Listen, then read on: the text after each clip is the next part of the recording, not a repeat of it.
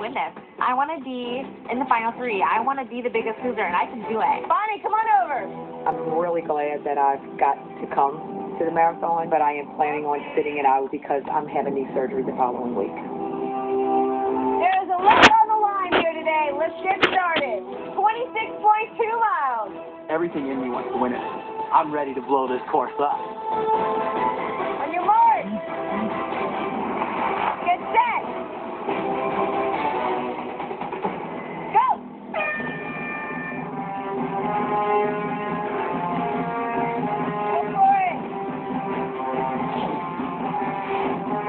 Marathon begins on the dry lake bed.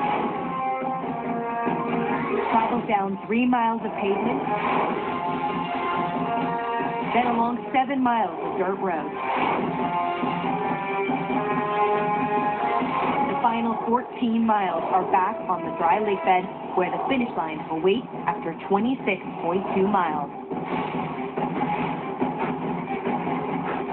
It's amazing that I'm here and that we're running a marathon today.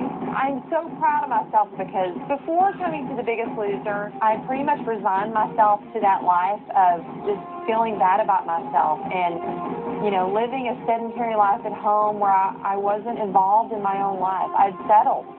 And here I am today. I'm doing it. And there's nothing that feels better than that sense of accomplishment and to know that I've done it. No one else did it for me, I did it. Here we go, Boston. Here we go.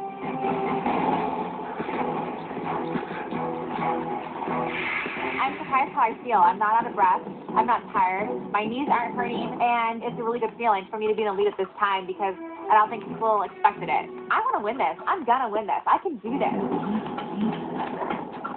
The first mile, Joe and Becky and Anton and I start off, and our plan is just to do a, a run walk. Five minute run, five minute walk, and just repeat that over and over throughout the entire race. I could do this all day.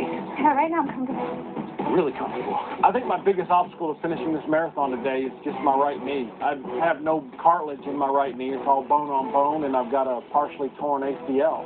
But I will not stop until I cross that finish line. I don't care if it takes me three days. I'm finishing this race. Our contestants aren't the only ones who have a long way to go. Did you know that people used to walk about 15,000 steps a day, and now they walk less than 3,000? America, it is time to make a change. Walgreens is encouraging people to obtain a healthier lifestyle, just like the contestants here on the ranch. Through Walk with Walgreens, a new program where healthy steps lead to healthy rewards. The idea is simple. You walk, log your steps, and get rewards at Walgreens. So join the movement. Visit nbc.com slash Walgreens to learn more about how you can sign up and start earning your rewards today.